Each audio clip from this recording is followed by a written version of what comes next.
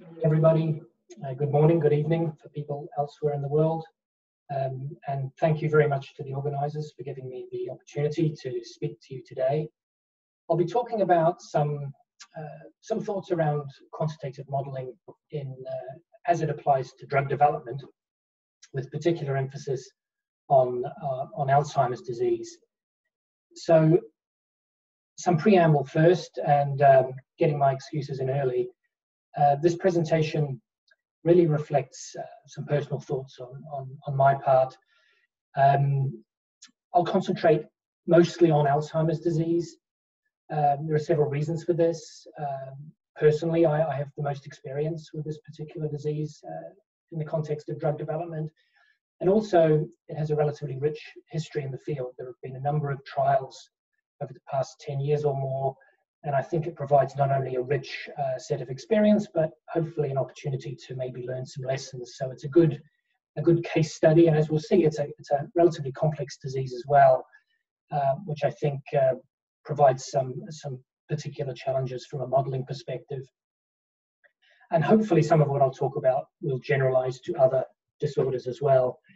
And, and also I'm not a modeler. So I'm speaking more here as an interested customer of modeling and uh, related quantitative developments, but hopefully it's a useful perspective. And again, I'll emphasize that these are my, my thoughts and opinions and they don't represent um, any particular position of Takeda or anybody else. So on with the show. This is an outline of what I'll be talking about um, for the next uh, uh, 40 minutes or so. Um, I'll talk a little bit initially about some practicalities um, for drug development. I think it's useful to get those out there um, at the start because when we're developing new tools and certainly more uh, new modeling tools, um, the considerations are often uh, theoretical ones. So, you know, will it improve uh, the technical performance of, of, a trial in some respect or another? Uh, most often, uh, we think about improving the power of the of the statistical uh, analysis of that particular trial. But there are a number of practical aspects as well that, that come into play when we're actually running these in, in a commercial context, which is what uh, the, the, vast majority of drug development is. And so I'll, I'll, just mention a couple of things there to maybe put some, some thoughts in your mind as well. Uh, I'll then talk a bit about disease models uh, in the context of clinical trial simulation, uh, how they can help, how they can fit in, and again, some considerations. I'll then kind of flip to the other end of the, the spectrum in a way rather than talking about the whole the whole disease in toto um, can we to what extent can we get individualized uh, prognoses and uh, what are some of the the issues there and, and, also how that could help if we could if we could achieve that in the context of trials I'll talk a bit about subtypes as well. This is something that I think has been of uh, increasing interest in recent years and has been an interest of mine as well. And finally, I'll talk about uh, co-pathologies, which I think in Alzheimer's disease is really uh, where the field needs to be thinking a lot more uh, in, in, the coming years. So first, some, some reflections on um, the practicalities. And uh, I'll use as an example here um, the context of enriching a clinical trial. And one way of doing this is to use uh, measurement of hippocampal volume as an inclusion criterion, as a screening criterion for the trial. And um, this is actually a, an approach that has worked well, it stood the test of time, it is very robust for this particular utility. And I'm, I'm thinking here particularly in, in MCI, so people who have some measurable memory impairments clinically, but uh, not, have not yet reached the stage of frank dementia. Um, and there, are, there are a number of biomarkers that can actually uh, do similar, which sort of brings in a, another consideration, which one should we use, or which combination should we use, and we'll come back to that point. But hippocampal volume is one that works well. And uh, on the basis of many, many years of evidence over a number of trials, um, I was involved in an effort some years ago that actually achieved a, a regulatory biomarker qualification of this approach. This was by a European Medicines Agency basically saying that yes, the evidence stacks up, and if sponsors wish to use this, uh, we, we, sort of we think this is a good idea and something that is likely to, help. And of course, the uh, the final decision rests with the trial sponsor. But while that um, while that's uh, submission really concentrated on the technical performance, i.e. does it work and does it generalize across different data sets? Um, there are a number of other aspects that come into play when, when one is thinking about using it in a, in a clinical trial. And again, this is this particular example is hippocampal volume-based enrichment, but I think a lot of these considerations generalize to other enrichment, uh, other enrichment mechanisms and potentially other other uses of biomarkers as well. And this is really what I like to call uh, the, the, concept of operationalizing whatever method you may be thinking about for the, for the use in trials. And in this particular example, the title of the paper here on the right gives you sort of some example of some of the things we were considering. Um, the effective algorithm. Um, as you all know, there are many different software uh, software tools out there for measuring hippocampal volume. And so if we use one algorithm or another, does it make a difference? Uh, test retest variability, the intrinsic measurement variability of the of the test, in this case, a measurement of hippocampal volume, how does that affect performance? And then the choice of cut point. This is an enrichment uh, context of use here we're talking about. So the idea is you're going to measure somebody's hippocampal volume in the screening phase of a trial, and you're going to make a decision. They're either in or they're out. So you need some sort of decision point, a cutoff value, and and what does that? Uh, what are the implications of that? And then by performance, what I'm talking about here is really um, some of the practical considerations like uh, trial cost, trial duration, uh, as well as the sample size. And you know, this is it's an interesting problem. It's not a, a hugely difficult problem, but I think it, you do need to think about how some of the different impacts of enrichment um, trade off in terms of some of these outcomes. So for example, if you have an enriched sample, by definition, you're going to be enrolling fewer subjects into the into the trial. So your the maintenance phase of the of the trial uh, may have some time and cost savings. You're going to be uh, basically uh, paying for fewer subjects to have procedures during the during the time at which they're enrolled in the trial. But on the other hand, the screening phase is potentially more complicated, may take longer, uh, and may be more costly. And so you can essentially trade all, all these things off. And, and of course, we're going to have an increased screen fail rate as well, um, which needs to be appropriately modeled ahead of time because once you start a clinical trial in an, industry, in an industry context, um, staying on track in terms of your predicted enrollment it becomes a, a, a, very, very important consideration. Time is literally money at this point, not only uh, because it's a competitive industry and maybe other companies have uh, trials ongoing simultaneously and maybe get maybe get to market or get authorization first, but also uh, the patent clock is ticking uh, already, and you, know you may be getting to the stage where you're already halfway through your uh, your time of patent exclusivity on the compound, which is the whole, the whole basis of uh, the, the private sector pharmaceutical company business model. So all these things come to bear over and above the, the pure science of can we technically do a slightly better trial. And so this is, these are the sorts of things we need to trade off. Um, and so we worked these through in this particular example. Um, and it was quite an interesting exercise actually. Um, so you see on these graphs at the bottom here, on the left we have the effect size. So this is the actual statistical effect size that normally we try and um, the first thing we do is try and improve that with any enrichment method. And on uh, all of these graphs on the x-axis here is a, uh, is basically a cut point. Uh, in this particular analysis, it, it, was expressed as a hippocampal volume, an adjusted hippocampal volume, um, on basically as a as a percentile of a, a healthy normal distribution. And so we went from sort of the 50th percentile of healthy normals, where you might be enrolling, say, I forget, maybe 75, 80% of MCI subjects, um, right down to a very stringent cut point towards the left, towards a limit of zero, where you may be enrolling a very small fraction, the people with only the very smallest hippocampi. And what's interesting is that you see the, the actual statistical effect sizes relatively um, consistent across this fairly wide range of cut points. Maybe a hint that the biggest effect size is found around, say, 10% here, 10th percentile. Um, but, but, but the effect is actually quite modest, and that's important because when you start getting into the some of these practical trade-offs, the second graph is the essentially a, a, a reflection of screen fail rate, but it's expressed as the number needed to screen to achieve your enrollment target. And this is normalized that the, the, horizontal dashed lines here and all these graphs are the unenriched scenario.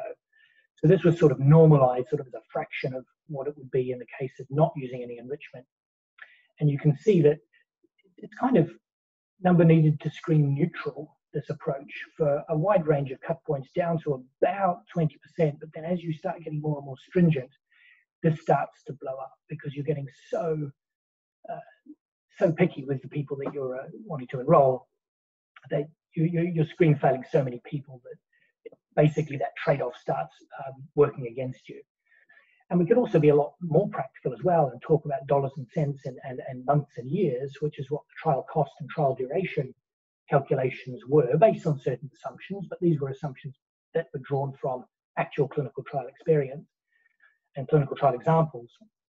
And what's interesting uh, for trial costs is you see that this works out actually as a cost savings. You're saving maybe 20 to 30% of the cost off over a wide range, again, a very shallow curve here, a wide range of cut points although it, this tends to sort of get less advantageous towards the more stringent end of the, the spectrum. But for trial duration, what's interesting, and again, this is based on certain assumptions which you can tweak in the model, but for the assumptions we made, which are in the paper, um, don't actually make the, the overall trial any faster, again, for a wide range of, of cut points. And then at the more stringent end of, of the enrichment criteria, this starts blowing up and you actually take longer overall and so, despite the fact that the statistical effect size may be slightly higher at, at a cut point around 5 or 10 percentile of, of normal, maybe a cut point around 30 or 40, you still get an uh, advantage. The number needed to screen, you're not being penalized, you're gaining in terms of cost, and the overall trial duration is, is, is basically the same as what would be. And the reason for this trial duration being what it is is primarily that the additional time needed to screen is uh, uh, being counteracted by the fact that you need to screen fewer people. And so this overall duration between first subject in and last subject out is reduced, but they kind of cancel out. So you're not winning overall. And, you know, an individual company may interpret these and make decisions on these as they will, but I think it's important to have all these, not only the technical considerations, but the practical considerations laid out as well.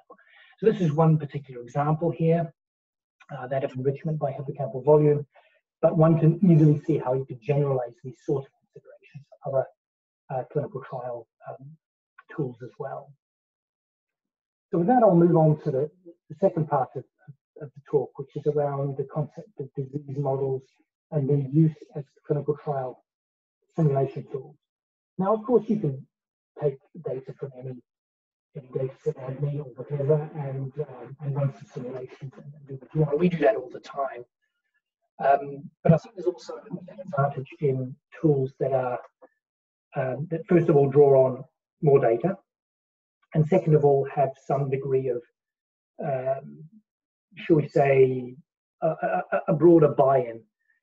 Uh, and this is one example that was developed again by the uh, the Critical Path Institute, um, who mediated a, a consortium which brought together a range of people, and this was in parallel to that enrichment uh, exercise I, I spoke about previously, um, brought together data as well as stakeholders, not only from industry, but from regulatory bodies, um, uh, thought leaders from academia as well.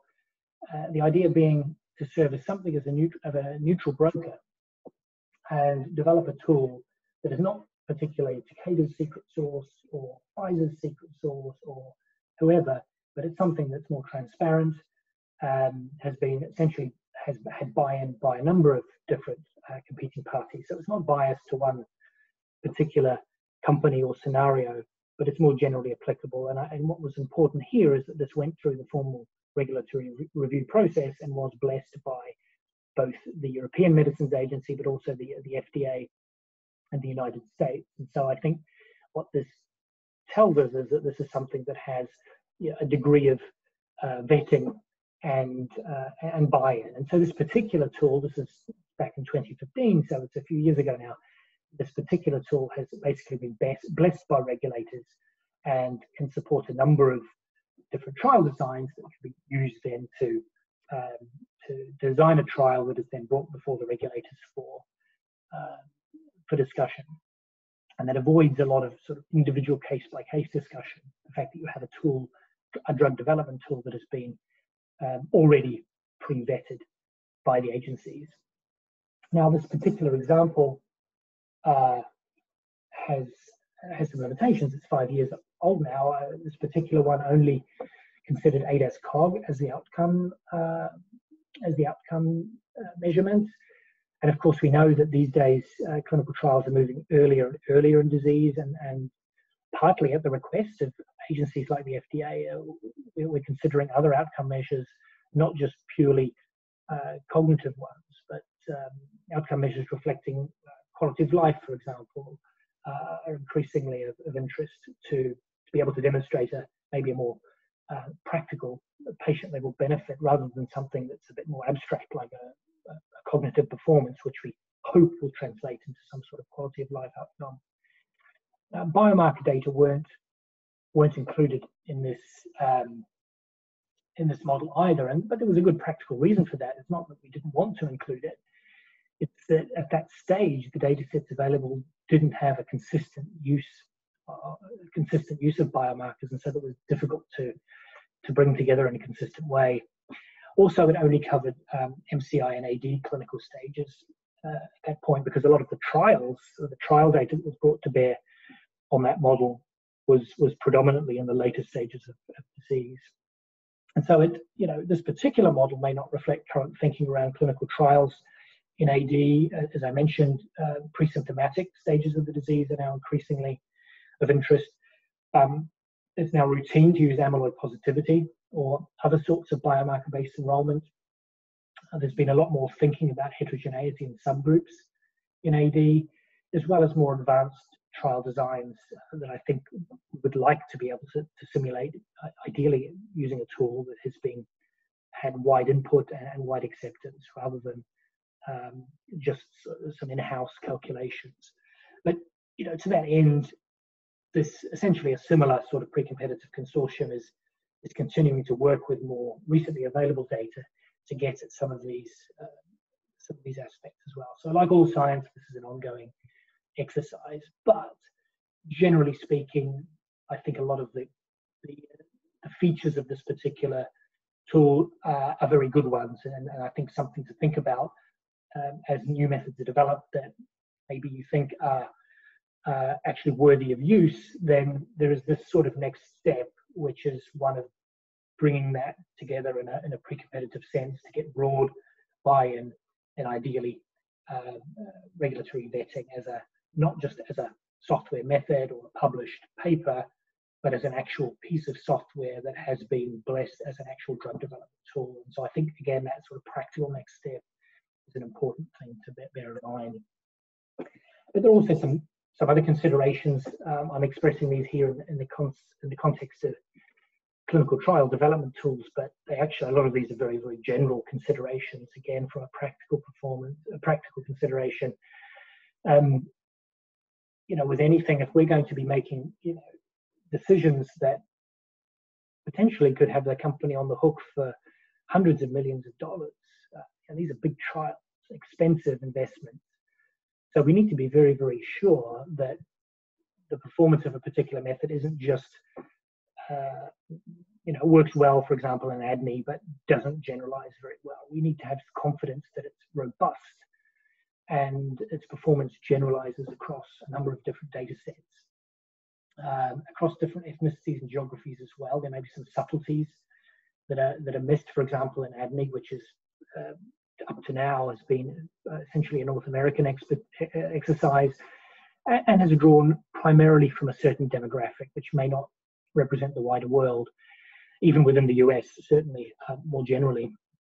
And there are interesting considerations as well about biomarker data as we think to integrate biomarker data Uh, there are lots of complexities there as well that need to be thought through.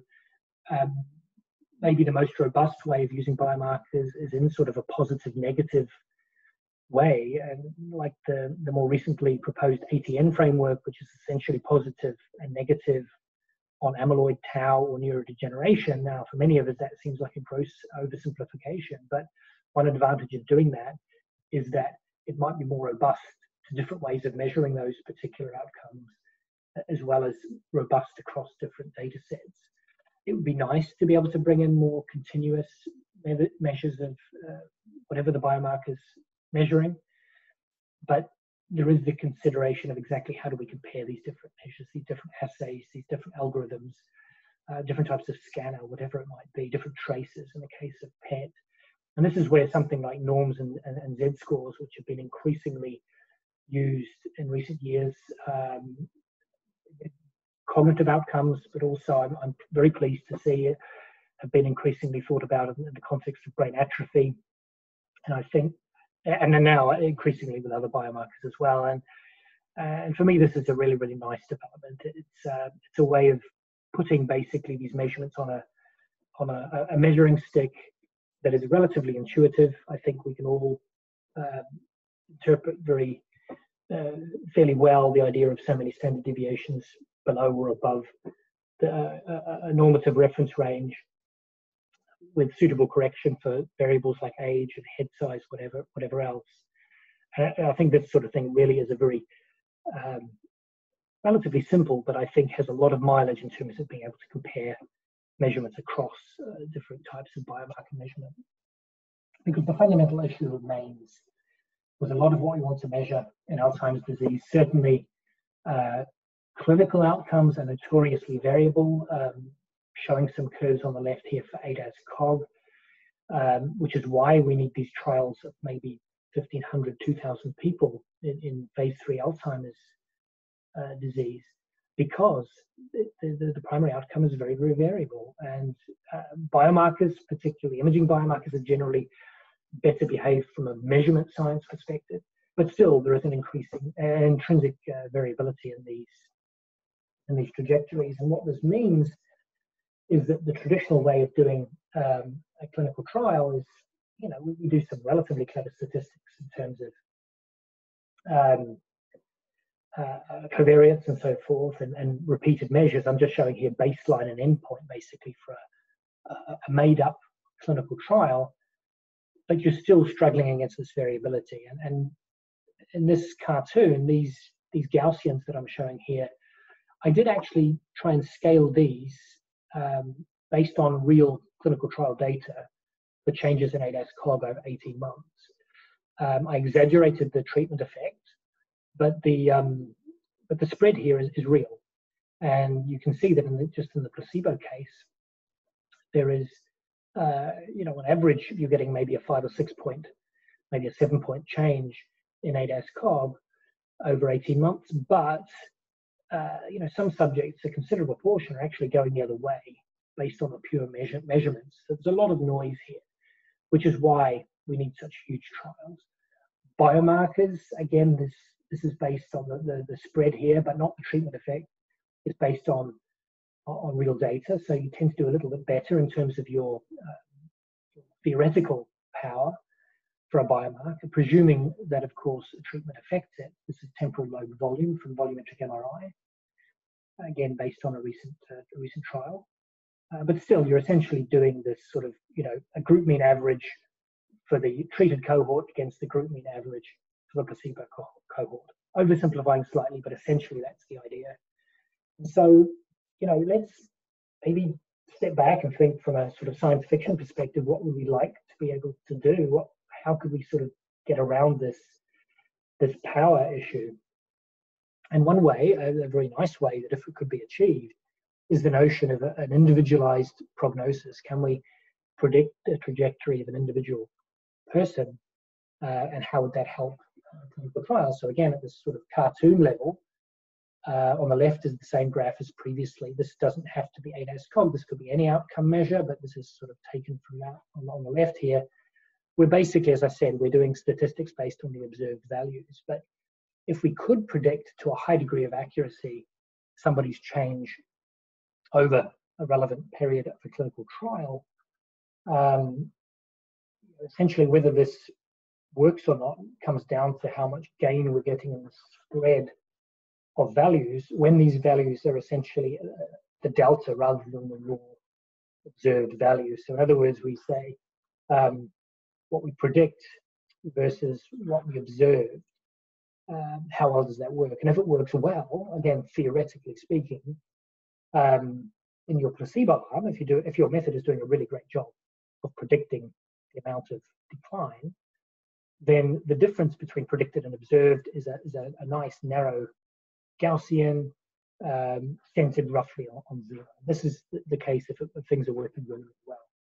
Uh, and if you have a treatment that works, then you're sort of you've got a Gaussian that's basically shifted off, and because these Gaussians are hopefully much narrower, you're gaining in statistical power. So that's kind of the value proposition of this, if we can achieve it, and and if these these Gaussians can be narrowed sufficiently. And I know there's been a lot of work in the field and a lot of thinking, certainly amongst the most theoretical sort of computer science uh, ends of the of this uh, this uh, this community. But there are a number of, you know, obviously limitations and challenges to doing this. Uh, again, this is something that personally I would love to have, and I think there are obvious uh, benefits for um, sort of real world applications and actual public health as well. Not only in a clinical trial to make a clinical trial technically better, but there is a big argument that if somebody, if you can determine that somebody's, they might have Alzheimer's disease or something similar, but you can predict they're not going to get much worse for the next five years, um, you shouldn't be spending the uh, the health system's money or exposing that that individual to potential side effects and risk of taking a treatment if it's not going to if there's if there's no improvement to be had because they're not going to be getting getting any worse. So there are there are obvious uh, public health angles here as well, but I'm speaking particularly from the point of view of trials.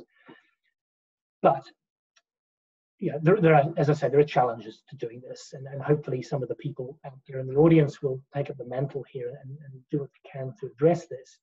But one thing that's relatively fundamental is the idea of biological heterogeneity versus intrinsic variability and the outcome measure. Yeah, ideally, what we'd like to do is essentially leverage what we can measure about biological heterogeneity to, to make these individualized prognoses. But there is the, the limitation, and it might be fundamental for certain types of outcome, is the intrinsic variability in what we're measuring.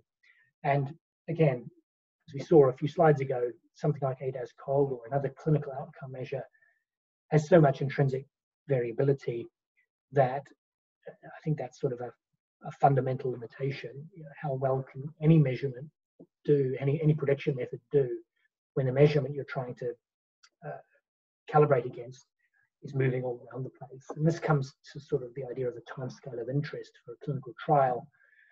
For someone who's in a symptomatic range, let's say a amnestic MCI or, or early AD, trials are typically, let's say, one to two years. Um, and so there's huge, huge amount of bouncing around of these clinical outcomes on that time scale. Um, from a getting back to the public health angle, if you're interested in a timescale that might be five to eight years, then then maybe we can do a lot better, and then maybe that's the, the place to start. And again, as you go earlier in disease, the um, the amount of change becomes even more subtle, even though the timescale for trials might increase somewhat. Um, and this is related to the idea of you know what are we trying to predict. Um, what I've been sort of outlining in the in the previous cartoons was predicting an actual continuous outcome, be it a, a, a, a cognitive instrument or a biomarker. Again, biomarkers might be more tractable in the near term just because the technical, the intrinsic variability is lower. Um, but there's been a lot of work in the field as well about predicting a dichotomous event. For example, is someone going to convert from MCI to AD within two years, three years? Um, that's again coming back to a simplification of this, but it actually might have some you know, some translation to reduce variability on the continuous outcomes as well. But something to bear in mind as you're developing these sort of methods is what's needed in terms of inputs. When you're dealing with something like ADNI, it's incredibly rich in terms of the uh, data available. And so it's tempting to throw all of those into a model. But, uh, and we know that many biomarkers have some sort of predictive value. But when you think about how this will be used in practice, trials, even more so in, in clinical practice, too many variables, and especially expensive and, and tricky biomarkers may be impractical. And so the extent to which, again, that practicality can be traded off, I think is a very important uh, consideration. And when you are thinking about biomarkers, then of course how those how those are standardized uh, across sites, across trials, it really has to be thought about as well. Um, because not everyone, you know, these these are these are research tools, uh, and not everybody's going to be reporting exactly the same values in the same way. And so the extent to which the inputs to the model can be widely applicable, that's that's a really important thing to think about. And then finally, just as sort of the idea of run-in data. Um, generally, that's a that's a really huge benefit for these sort of um, these sort of prognoses because essentially the best predictor of uh, what's going to change in the future is what's happened in the recent past. The problem for trials is that uh, these have been, there hasn't been a big uptake of, of designs just because of the, the, extra time and delay required. Uh, but this is where something like trial-ready cohorts could be useful. Uh, and so that again needs to be maybe made more explicit if run-in data is being used in the models. And even more considerations around the practicalities for clinical trials, how would we actually use it um, not only in terms of what's needed, but where that where those data are going to come from in a clinical trial. Do we need to upload, for example, an image if imaging data is one of the variables, uh, or is some summary value sufficient? And the reason why this is important is that in clinical trials, um, all the time under substantial time pressure, we engage different uh, different companies to manage different aspects of the trial. Typically, you will have one company that's managing the the clinical aspects, and so they'll have access to the demographics, maybe the genetics, the genotype, um, any baseline cognitive assessments. But the imaging data will be handled by a different company, maybe two different companies. It's not unheard of to use a different imaging CRO for MRI than PET in a clinical trial. And so basically coordinating all of those things and the transfer of data sounds trivial, but it can be an absolute nightmare and all of that within some sort of turnaround time that is acceptable to a company if this is going to be used for inclusion. And again, all the time with, with the pressure on screen fail rate as well as being something generally considered to be minimized. So, as I say, this is, I think, a, a fantastic and, and fascinating area of work, but um, it has challenges. And so maybe we can come find some middle ground where we're not uh, attempting to predict individualized decline, but possibly some, so we can maybe reduce at least a, a population to something like subtypes or subgroups. So we're getting some granularity, and maybe those uh, groups of behavior may nevertheless be, be useful for trials, but also more tractable. And you know, there's been a lot of work on that in, in recent years, and, and some of the work has been around just looking, for example, identifying clusters of ADAS cog change based on baseline measurements, uh, genetics, and and, uh, and demographics, and that potentially could have some use per se. But as an imaging as an imaging guy, I'll talk a bit about uh, subtypes based on imaging here. Um, partly because, to be frank, this is an area that I've been interested in, but I'm now sort of starting to think about exactly how or, or whether this would be useful for us when we're thinking about trials. And the angle I'm going to take is the approach that was originally um, popularized by Melissa Murray in this paper from nearly 10 years ago now, 2011. And this is based on a, a large uh, autopsy set, I think uh, from memory, something like 700 cases.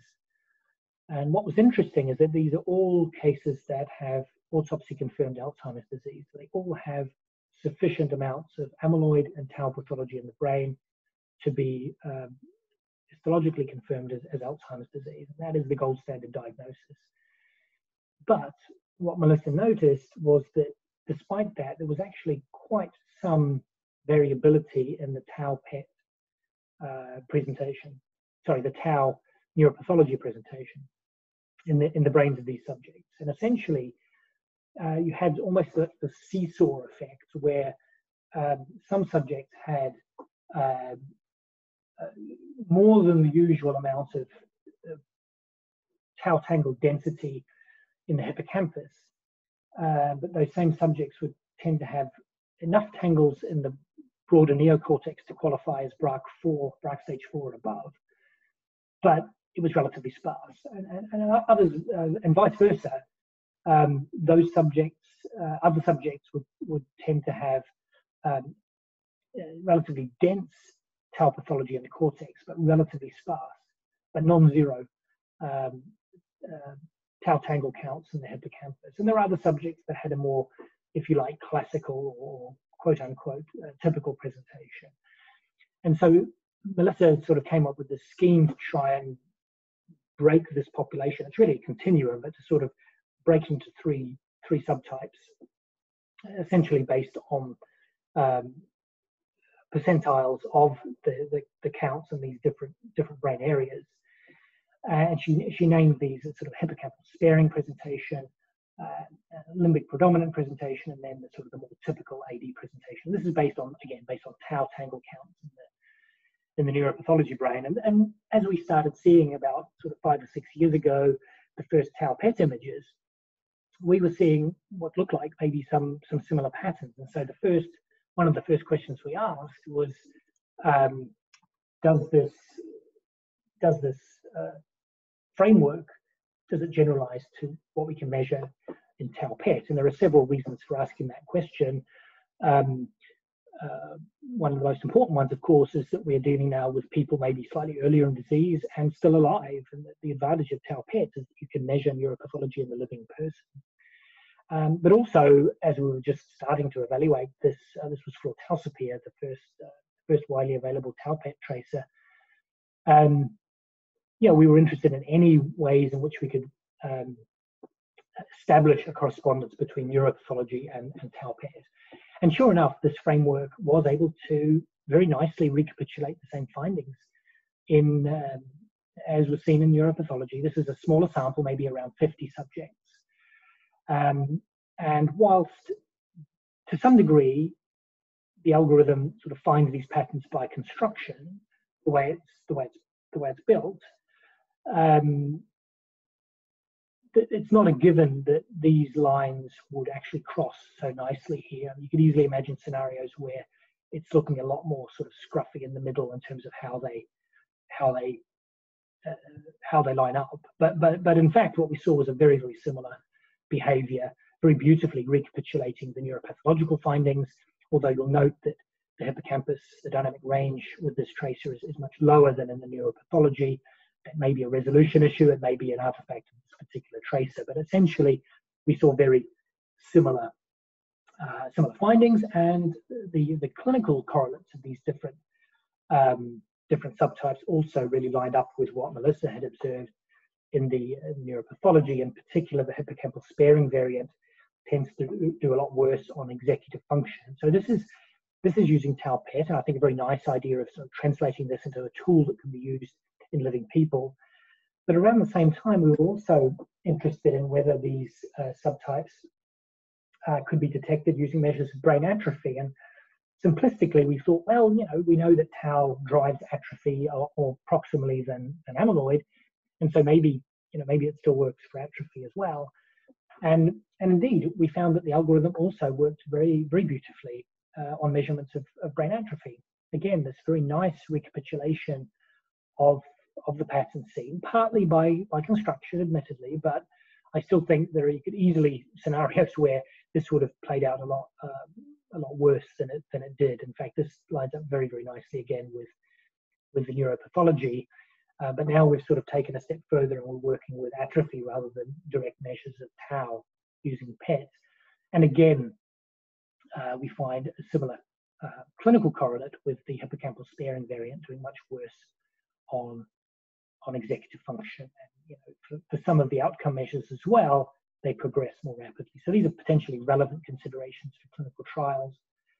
Um, but you know, we weren't the only people thinking about this. As we started uh, writing this up, it became apparent that a lot of other people were working in this area as well. Um, and this was sort of a quick and dirty overview of the field I, I did actually for the for a, a EuroPOND meeting a couple of years ago, where uh, you know a, a, number of people had published similar work. And what's actually kind of interesting is that everyone seemed to use a different uh, statistical or mathematical method, but the the findings were very very consistent. Basically, everyone found similar patterns of brain atrophy in the three subtypes and uh, similar clinical correlates as well. And you know, this work is, is continued and more recently, there was a, a far more systematic uh, review published by Ferreira et al. Um, showing that the, the, prevalence of these is, is relatively consistent across uh, different ways of grouping them. Uh, but again, you know, we were thinking this as well a couple of years ago. We never got round to actually uh, writing it up, but uh, just kind of comparing at the individual method level here. Um, three different methods or two variants on the UCL method sustain, uh, again showing know, relatively uh, consistent uh, prevalence and, and, other behaviors which were uh, which were in, in, this poster. And I'll just sort of put a nod out to this one one of these three methods, which is one that we devised for use in, in clinical trials. Um, the trouble with a lot of the methods that were uh, shown previously or developed previously is that they relied on having a large sample and running some statistical clustering or, or other approaches on those on those uh, on those measurements on that sample. Whereas for use in clinical trials, ideally we have something that's applicable to individual subjects as they come in on an individual subject level. So we reduced the concept of these, these uh, three subtypes, as well as basically a, a neurodegeneration negative subtype based on a very simple decision rule based on whether the cortex or the hippocampus was, was abnormal based on a Z-score type approach. So you can use things like the icometrix method, which we've heard about. Um, for example, other methods also available to, uh, to essentially classify subjects in these three subtypes, and you, you achieve a very similar, uh, similar uh, performance as you see with the more, uh, the more uh, sophisticated mathematical approach. So, you know, I think this is clearly a real phenomenon, be it based on atrophy or based on tau. And but and given the general similarity between anatomical patterns of tau and atrophy in AD, it's certainly tempting to interchange the two, although atrophy, of course, will be reflecting other, other uh, insults to the brain as well. And you know, while a number of recent, recent studies have confirmed that this relationship tends to hold at the group level, it's certainly not perfect uh, once you get down to the individual level. So again, just something to put out there um, that we do need to think about uh, what's driving the, the atrophy uh, which may not may be more than above tau. And if we want to do subtyping, what is the interpretation of that subtype if it's based on an atrophy outcome or if it's based on a tau outcome?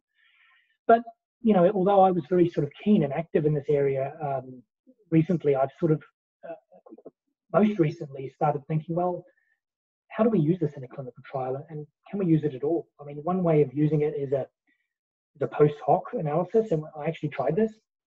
It didn't seem to make much difference. It may have been because the trial was basically negative anyway, but it certainly didn't sort of pull a rabbit from the hat. Um, but you know, why would we? How and why would we use these subgroups when we're actually running a clinical trial? And one of the reasons for for thinking that is that if, as we certainly are, and as probably the most popular approach in clinical drug development at the moment for Alzheimer's disease if we're treating specific pathological drivers of dementia, and by this I mean amyloid or tau or one of the other underlying pathologies, then this approach doesn't really get at the most important question. The most important question, at least in Alzheimer's disease, is that of mixed pathologies. And this, we can illustrate this with some neuropathology work that's uh, emerged in recent years. This is a few years old now, 2015, from, from ADNI. This is a the first uh, report of the ADNI neuropathology uh, core. And really, the takeaway messages these are again these are based on, on brain autopsies where you have gold standard uh, measurements of what's in the brains of these people. Um, all of these people 33 individuals for the uh, for the late onset AD from ADNI. All of them had, had amyloid and tau, so autopsy confirmed Alzheimer's disease. They all had neuropathologically defined Alzheimer's disease, but only less than half of them had only Alzheimer's disease because 58% uh, had other stuff in the brain as well. And if you do the maths quickly on these, these percentages here, uh, many subjects had more than one of these. Um, whereas, interestingly, this is not the case in the autosomal dominant AD. People are, are much younger there, they're in their 40s rather than their 70s. Many of these are essentially age related, so they, they don't appear. I mean, there's some really, something really interesting going on with, with the alpha synuclein pathology, but uh, that's maybe a, a, story for another day. Uh, and here's a more recent update of these data. We've more subjects now, nearly um, nearly twice as many. In fact, slightly more than twice, 69 subjects. Sorry, 67 subjects.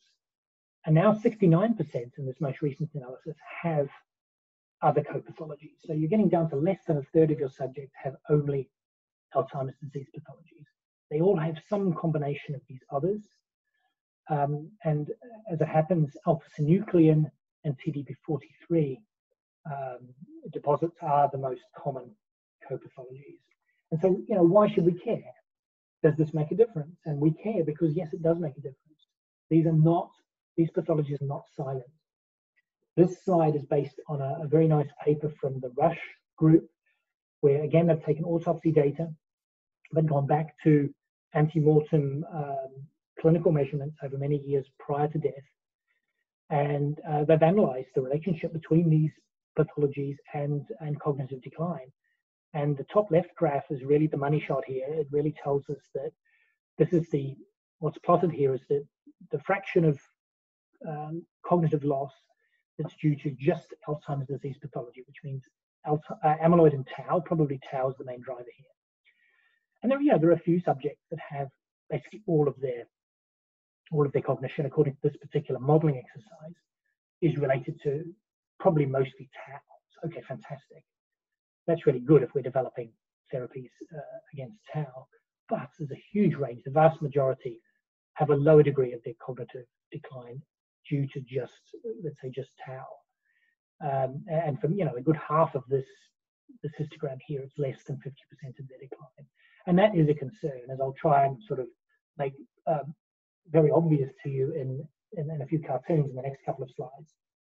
So consider an idealized clinical trial scenario. And this is basically the thought experiment that we, that we run when we're planning a clinical trial. So there might be some aging effect, but essentially your, you know, uh, your, your, comparison is a very, very limited cognitive decline, whereas in Alzheimer's disease, you have a, a more severe drop, especially maybe we can enrich the sample to help with that. Okay, fantastic and we have a drug and we think it's really going to work well. And we, we base the power calculations around some assumption. Ideally, we have some data on this, uh, but often it's on, to be frank, it's just an assumption about how we think we, might affect that slow. We might slow it by, sorry, the decline, we might slow it by 50%, 30%, whatever it might be. Um, okay, but let's get a bit more specific with our thought experiment here. And let's assume that we're dealing with an anti-tau therapy. This is sort of very much the most popular um, uh, approach at the moment for therapies in Alzheimer's disease. Uh, and let's assume this is a, a, thought experiment. So let's assume that it actually works and it does slow tau-related clinical decline by 50%. And I think hopefully you can see where I'm going here. The key words here are tau-related clinical decline. So if you have a trial participant that has no comorbidities, uh, and let's assume that most, you know, amyloid's not doing much, most of the decline is due to due to tau, then in this individual, because the drug, according to our assumption, the drug does actually work, you, you will actually detect within measurement noise, you'll detect on a bunch of subjects like this a, a 50% decline. Fantastic. But as we've just learned, most subjects have other things going on in the brain. And so you have participant with other comorbidities that are contributing to cognitive decline, even though our drug is perfectly efficacious. Um, the, the treatment effect is going to be massively attenuated just because we're including participants uh, that, that, have other things, other things contributing to their cognitive decline. So obviously this is going to be reducing the overall average um, effect size and it's going to be from an absolute sense and it's also going to be increasing the variability. These are exactly the sort of things we're trying to get away from when we want more efficient trials. And so this is, in a nutshell, this is the real issue. And for me, for Alzheimer's disease, this is the crux of what we want to try and get at um, in a more, shall we say, a smarter, personalized medicine. Just, just summarizing what I've just said, mixed pathologies, mixed pathologies are common in old age, especially sporadic dementia. Um, contributions of non-AD pathologies are present more often than not in these older populations. And this is, you know, screening people for amyloid and tau is not going to get away from this. These people are all amyloid positive and tau positive, but they still have this biological, uh, I would call it noise, but that's a sort of harsh way. It's a biological reality, harsh way of uh, describing it. These pathologies are not silent. They contribute to cognitive decline. And so if we want to think about a more personalized medicine approach, um, if we're targeting AD, knowing that it is a mixed dementia, um, there are a number of considerations. I mean, these first two are the things we've already been thinking about, and there's been a lot of thinking in the field about this. So, does the person have the target pathology? Okay, are they tau positive? Fine, we can do that. Is the person going to decline appreciably over this time scale of interest? Okay, again, we can think about that. We can do some exercises and enrich for faster decline. But what we really need to get at as well is this third piece, which hasn't been thought about as much, is is the clinical decline due in large part to the mechanism to be treated or not? Obviously, biomarkers for this would be would be helpful. Um, it's been a challenge for some of these, these non-AD pathologies, so-called.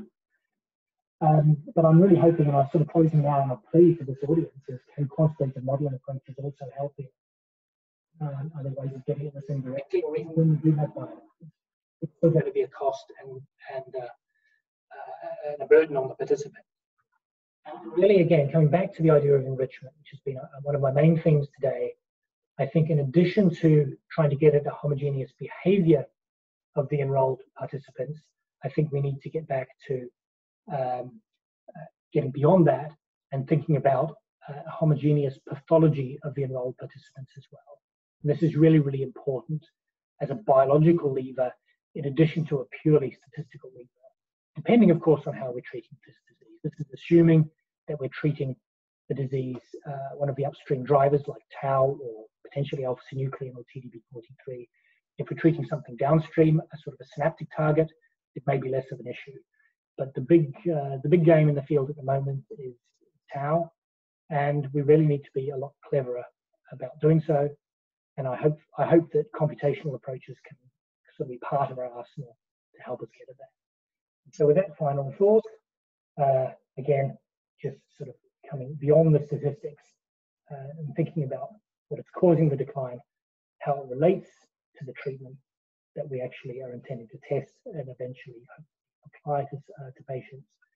Um, we need to be able to get at that in a much cleverer, personalized medicine approach. And so with that, I will close. I will thank you for your attention and I'll be happy to take any questions. Thank you.